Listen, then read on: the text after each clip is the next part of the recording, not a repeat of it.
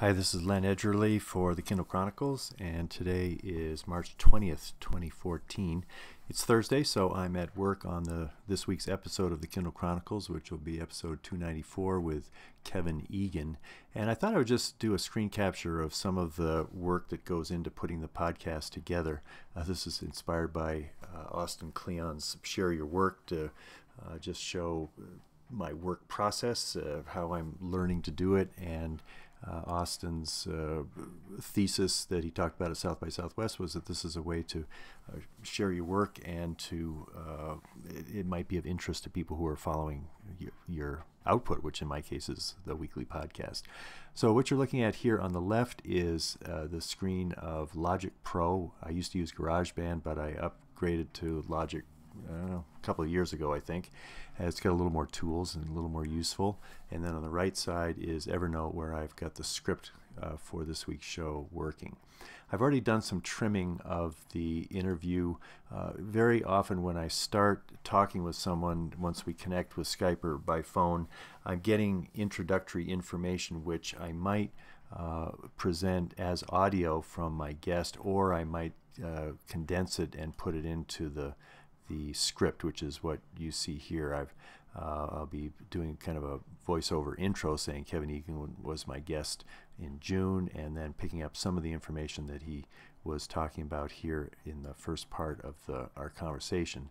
And where I want to get to is a point here where he says, uh, I still have that original Kindle Fire. Uh, we're talking about how he was reading uh, two years ago when I talked to him. And uh, so what you're seeing is this bottom track is Kevin's voice and the upper track is my voice. When I record with Skype Call Recorder, I can then split the two tracks and then I can edit them differently, which is very handy because sometimes uh, either my voice is too loud or the guest voice is too loud and I can adjust them separately.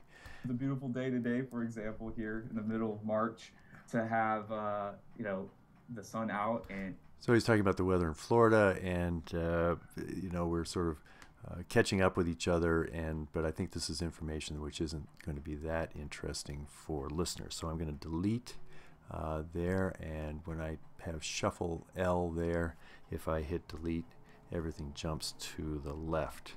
And so now well, I still have that original. Okay, there's a little bit of a an edge to that. If I I can spread out the waveform to see.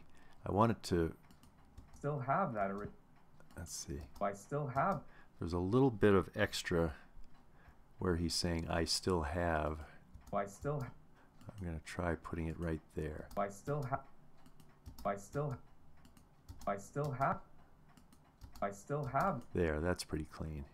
So you can see if you spread it apart, you're, you're, you can make pretty fine cuts. I still have that's nice and clean. All right, so I'm going to go, where was that there? I still, yeah. All right, so now I'm going to cut, I'm going to select both tracks. And I have to make sure that I cut, uh, I cut my track and his so that they stay in sync with each other. And so now when we start, I still have that. There, that's a lot cleaner. Um, so in my intro here, I uh, say I spoke with Kevin by Skype on Tuesday, and I began by asking for an update of his reading technology from nearly nearly two years ago when he was using a uh, a first generation Kindle Fire and an e-ink Kindle Touch. Um, so the other thing that you can do with uh, Logic, and uh, I don't always do it, but in my uh, speech and also the speech of most normal people, there are some ums and ahs to deal with. And you can kind of clean up how someone sounds. We'll just see. Run. I still have that original Kindle Fire. Uh, the first. Okay, now there's an ah, and you can see it's a nice shape. It's uh, I've seen these described as sunfish or something, and if you spread it out, you can see that that's fire. Uh, the first generation. All right, so if I select both tracks and then I do a cut here and then on the other side of the ah and then I select the ah and the space where I'm listening and delete it Now it's just going to be a little more smooth. That original Kindle Fire, first generation. I still use it on occasion, but I don't use it as much to read long form. Um, I have the. Okay, there's another one. And I'll just grab that and delete. Much to read long form. I have the latest generation Kindle Paperwhite, which I love. That's what I use for most of my reading. Uh, my wife also uses a Kindle Paperwhite, so we uh, we both uh, share and exchange. Now, you know, sometimes uh, it, it's it's kind of a judgment call. Uh, for one thing, it takes a lot of time to take out all of the uhs in an interview. Uh, and I also think sometimes, you know, it's a normal way of talking. So, uh, white. So we uh, we both share and exchange books that way. I also own a, uh, a Nexus Five. And so as we go along, I'll I'll be uh, there's the entire interview. You see, it's a little less than 20 minutes, which is about right.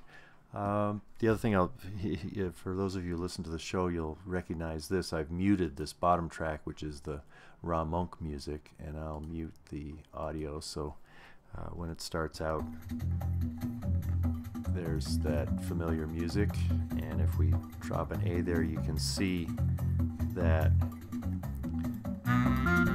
with uh, I'm usually saying uh, welcome to the Kindle Chronicles here where the volume on the music is sort of low and then I have a little pause when the I can raise the music so there's a little sort of an interlude and then it drops down when I say uh, welcome from Denver or wherever and and then it kind of fades out and then as I have uh, bumpers these are the bumpers where uh, these little uh, separators between the different uh, parts of the podcast uh, let's see.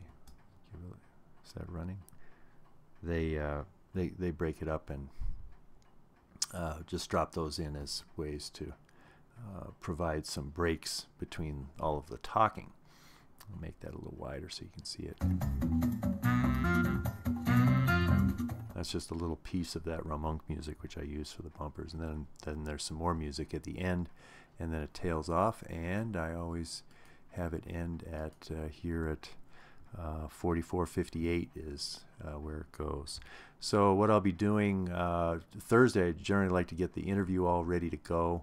So I'll be working on that tonight, Thursday, and try to get as much of the script done as I can so that tomorrow, Friday, uh, I always want to get finished before midnight, uh, and that'll be the what I'll hope to do. So on the script side, I uh, just welcome to the Kindle Chronicles, and I've got uh, I'll drop in the news, the tech tips, the interview intro, content, and if there's some time for comments, and then the outro, we'll talk about uh, uh, what's coming next week.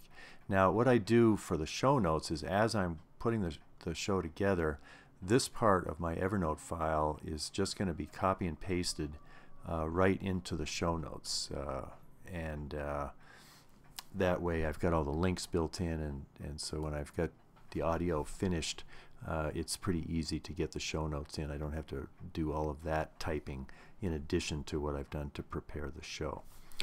Uh, I hope you'll enjoy the show this week. It was a good interview with Kevin Eagan, and uh, I am looking forward to uh, getting it all spiffed up and ready for you to listen to hopefully sometime tomorrow, which will be March 21st.